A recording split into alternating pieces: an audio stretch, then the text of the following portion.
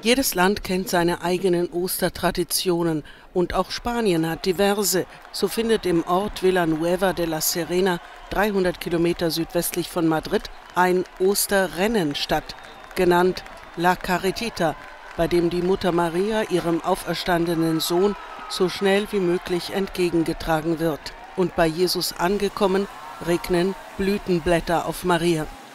Auch in Tudela gibt es eine ganz besondere Ostertradition, Bajada del Ángel. Der Engel, der die Auferstehung Jesu verkündet, wird von einem Kind gespielt, das an einem Seil in der Luft auf Maria zuschwebt und ihr das schwarze Tuch, ein Zeichen der Trauer, vom Kopf zieht, denn ihr Sohn lebt.